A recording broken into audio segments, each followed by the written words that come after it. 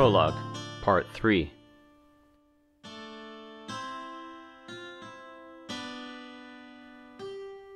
Courier accomplished.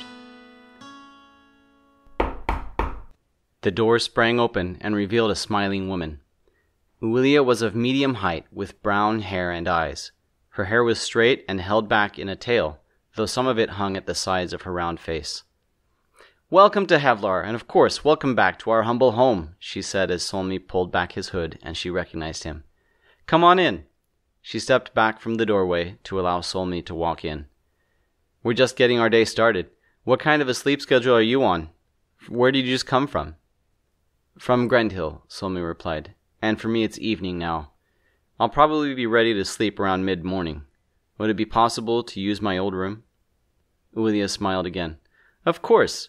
We've cleared it out for you since you sent word that you would be coming for a visit. What brings you out here? How long will you be in town? Solmi paused for a short moment. Well, I thought I'd bring my musical inclinations out here and see what the scene is like. I could be here for a few days, or I could be here for several months, granted I don't wear out my welcome. Life was getting a little too monotonous. I wanted something different for a bit.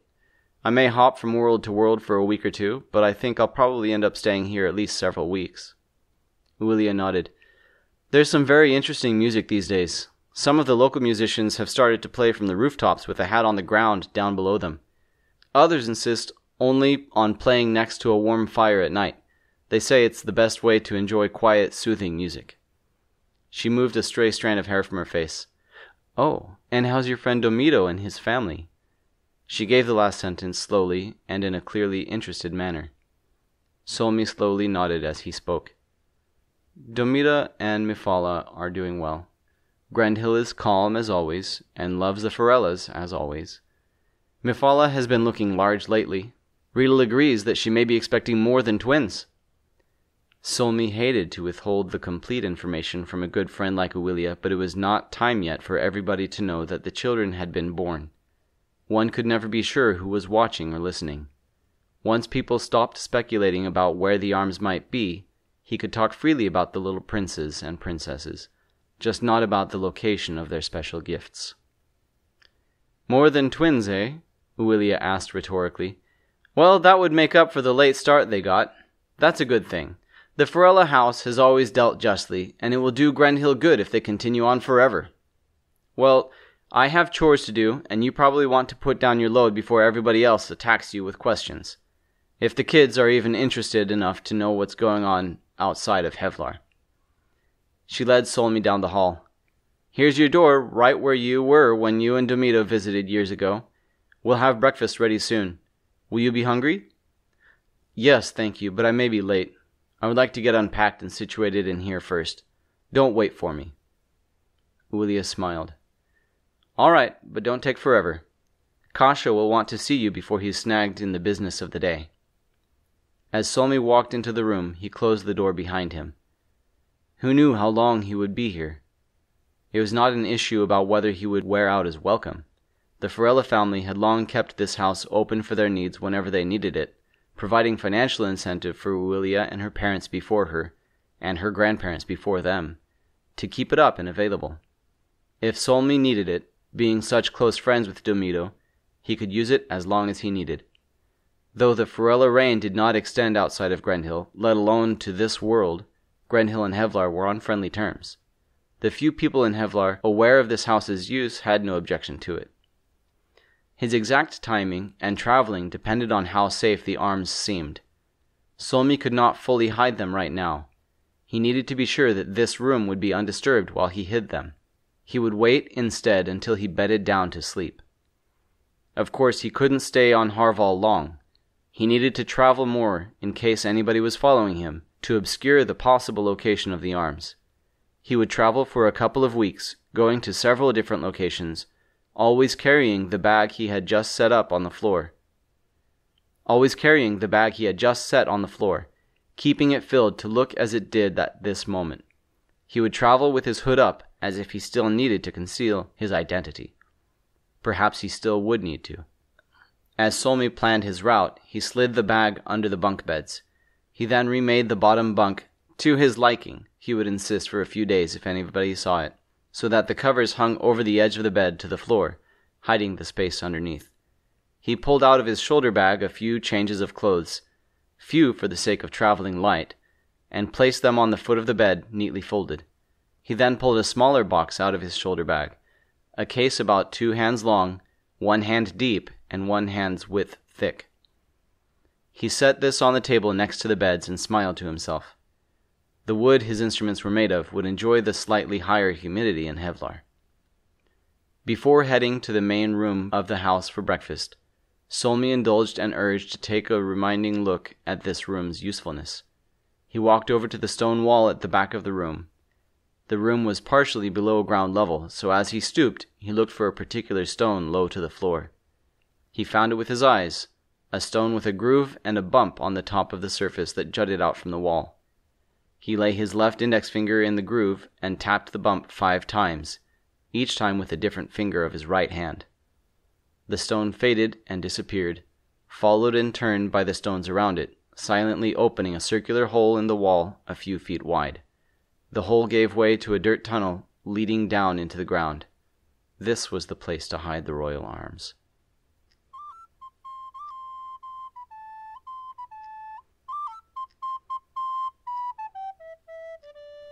Are you stuck at home, bored, hiding from the coronavirus? Do all those reruns of Kitchen Nightmares and Hoarders have you feeling sick to your stomach? Well, you can find something that will put your mind at ease by catching Julianne, aka Wherecat, streaming most weekdays at either 8 a.m. to noon Central or from 8 p.m. Central to late on twitch.tv slash wherecat. Come show some love as she fights her way up the ranks of the worldwide gaming phenomenon League of Legends with her unique happy go lucky attitude. You can even jump in on the chat and give her your hot takes as the action unfolds. Not in a chatty mood? Feel free to kick back and relax as her bubbly commentary provides a fun backdrop against some of the coolest video game action on the web. Want to be kept up to date on all things Wherecat related? That's easy. Just follow the link on her page and crawl on into her Discord server called The Cat Cave. Share memes, jokes, stories, and voice chat with some of the coolest cats around. In addition to League of Legends, she may also be playing Jackbox games, stream marble racing, battle block theater, and many more. Do you have a request for a game she should play? Be sure to leave your recommendations in the chat, and you may see one of your favorite games being featured in the future. Come on by to twitch.tv slash wherecat.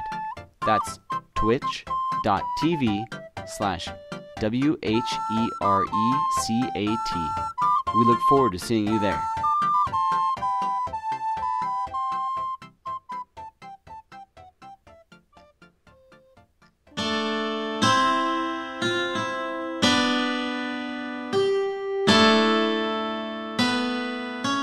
King Augfi, Princess Myndael. Esclus, one half to Sala turn later. T four six zero four two five six zero. Zulfa rocked her baby tenderly and smiled despite her exhaustion. What a beautiful little girl she now held in her arms. The travail of childbirth was now forgotten in her joy. Soon she would sleep. Just a few more moments looking at her little Myndael. Then she would give in to sleep. A sage woman had been present for the birth, of course.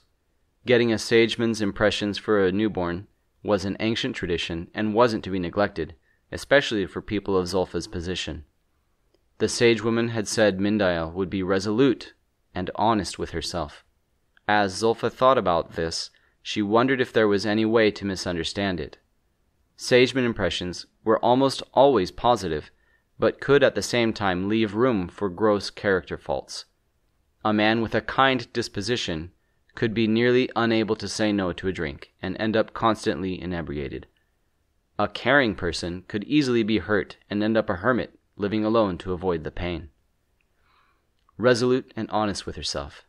That must be a good thing, but circumstances could always turn one's good attributes against his or her own welfare. In Myndael's case, her welfare involved the welfare of thousands of other people. Zulfa hoped life would be favorable to her child. Zulfa heard some noise outside in the corridor. People talking.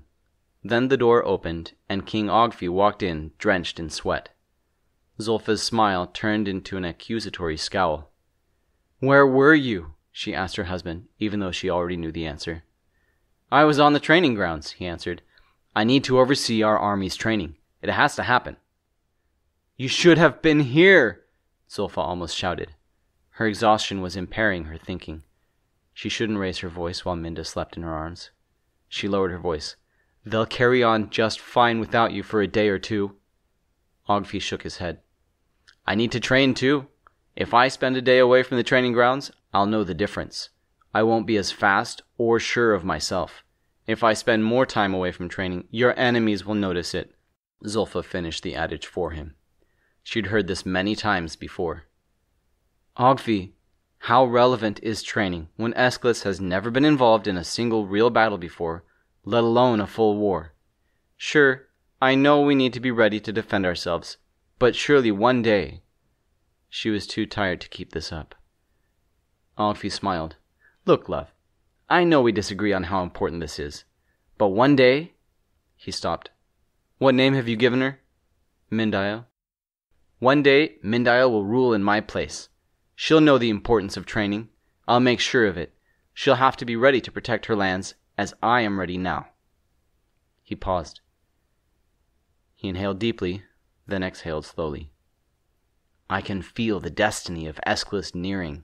Can't you? One day, Myndael will live that destiny. I need to have our armies ready to fulfill it, and she will need to keep them ready to defend it. One day, Myndael will be queen of Grendhill. Zulfa was asleep.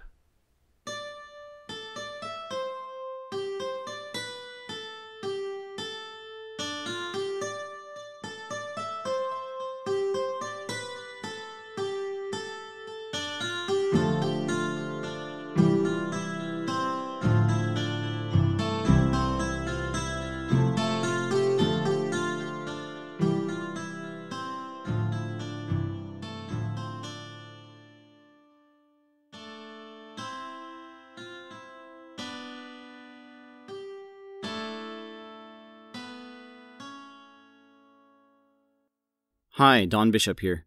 I hope you enjoyed today's story segment. If you've been following the podcast so far, then you must have noticed that today we started a new format, splitting narration and discussion into separate episodes. This will help me produce the podcast much more easily and quickly.